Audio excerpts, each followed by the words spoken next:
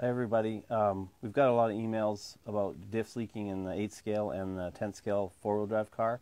So we're just working on Ty's car. So I'm just going to show you how we've been able to stop the diffs from leaking. We haven't had any issues whatsoever. So you guys want to give this a try if you're having diff, diff leaking problems.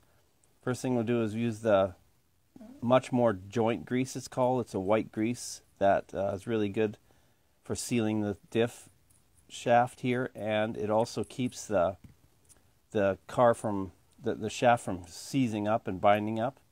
Coat both surfaces with that. And as you put it in, twist it in there, and it makes a really good seal on the outside on that shaft. And then we use 110% RC Sweat, which is an O-ring grease that protects the O-ring, keeps it from swelling up, and also makes a good seal. Uh, ProTek also makes this product give it a good liberal coating.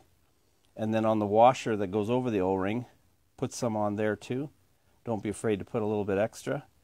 And then when you put that on, it also makes a really good seal, keeping that diff grease or diff oil from seeping by, and you should have any, no problems. We've had really good luck with it. So if you guys are having problems, maybe give those those things a try. Thanks.